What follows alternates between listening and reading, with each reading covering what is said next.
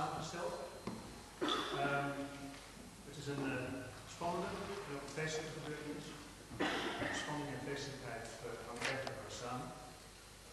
Als u het heel erg spannend vindt, denkt u dan dat het zonder al die spanning ook minder feestelijk zou zijn. Wat gaat er nou gebeuren? Het is een gewoon concert. Um, tot het einde toe. Dan gebeurt er iets vreemds. Ziet bij het slotapplaus ziet u een aantal mensen schielijk de zaal verlaten. Dat is niet omdat zij het mooi vinden, maar dat is omdat zij zich gaan terugtrekken voor beraadslaging. Ik heb het over de jury die het uiteindelijk oordeel zal geven over dit eindexamen. Uh, u kunt gewoon doorgaan met uh, de feestelijkheden in de zaal. Wanneer de zaal verlaat, is er in de kantine gelegenheid tot het uh, drinken een drankje.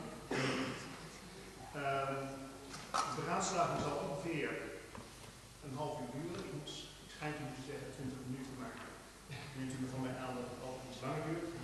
De tijd worden gevuld. Met Tina daarvoor worden.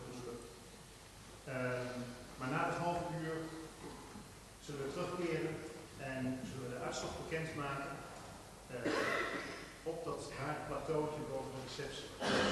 Wanneer u zich zeg maar, na verloop van tijd een beetje die kant op wilt begrijpen, dan kunt u daarvan uh, getuige zijn. Tot zover.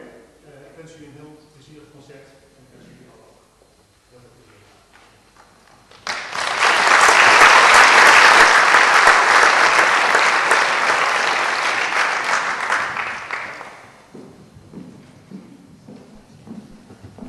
Nogmaals, uh, goedenavond en hartelijk welkom op het uh, HAVA-directie eindexamen van Tine Buis in deze prachtige zaal van het Amsterdamse Conservatorium. Mijn naam is uh, Roos, de meeste van jullie zullen dat wel weten. Ik, ik ken Tine al sinds de Peuterspeelzaal en sindsdien zaten we de hele basisschoolperiode bij elkaar in de klas. En hebben we samen gehandbald, samen blokfluit gespeeld, samen coachen we allebei voor de saxofoon en dat spelen we nog steeds heel graag op. Kortom, we zijn al lange tijd goede vriendinnen en ik, ben, vind het dan ook een grote eer dat ik vanavond dit concert mag presenteren. Achter mij ziet u, uh, ziet u een projectorkest wat Tina zelf heeft samengesteld.